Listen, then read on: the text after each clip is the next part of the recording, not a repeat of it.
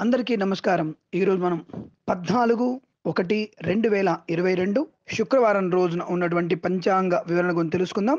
ఈరోజు శ్రీ ప్లవనామ సంవత్సరము ఉత్తరాయణము పుష్యమాసము శుక్లపక్షము ద్వాదశి రాత్రి పది గంటల పంతొమ్మిది నిమిషాల వరకు ఉండి తదుపరి త్రయోదశి ప్రారంభమవుతున్నది. రోహిణి నక్షత్రం రాత్రి పది గంటల పద్దెనిమిది నిమిషాల వరకు ఉండి తదుపరి మృగశిర నక్షత్రం ప్రారంభమవుతున్నది.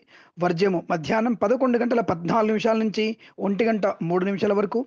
తిరిగి ఈ రోజు రాత్రి రేపు తెల్లవారుజామున రెండు గంటల ముప్పై ఏడు నిమిషాల నుంచి నాలుగు గంటల ఇరవై ఐదు నిమిషాల మధ్య కాలంలో వర్జ్యము వ్యాప్తి ఉందన్న విషయాన్ని గుర్తించండి. దుర్ముహూర్తం ఉదయం ఎనిమిది గంటల యాభై ఆరు నిమిషాల నుంచి తొమ్మిది గంటల నలభై ఒక్క నిమిషాల వరకు తిరిగి మధ్యాహ్నం పన్నెండు గంటల ముప్పై తొమ్మిది నిమిషాల నుంచి ఒంటి గంట ఇరవై మూడు నిమిషాల వరకు. అమృత ఘడియలు సాయంకాలం నాలుగు గంటల నలభై నిమిషాల నుంచి ఆరు గంటల ఇరవై తొమ్మిది నిమిషాల వరకు రాహుకాలం ఉదయం పది గంటల యాభై మూడు నిమిషాల నుంచి పన్నెండు గంటల పదిహేడు నిమిషాల వరకు వ్యాప్తిగా ఉన్నది. ఈ రోజు మకర సంక్రమణ పుణ్యకాలము. ఈ రోజే మకర సంక్రాంతి అన్న విషయాన్ని గుర్తించండి. పుణ్యస్నానాలు మధ్యాహ్నం రెండున్నర నుంచి ఐదు గంటల మధ్యలో చెయ్యండి. చాలా మంచిది అనుకూలంగా ఉంటుంది. నేను చెప్పినటువంటి శుభ సమయాలను పంచాంగంలో ఉన్నటువంటి వర్జ దుర్ముహూర్తాలను రెండింటినీ కూడా సమీకరణ చేసుకొని శుభమైన మీ కార్యక్రమాలను ఏర్పాటు చేసుకొని విజయవంతంగా పూర్తి చేసుకుంటారని ఆశిస్తున్నాను.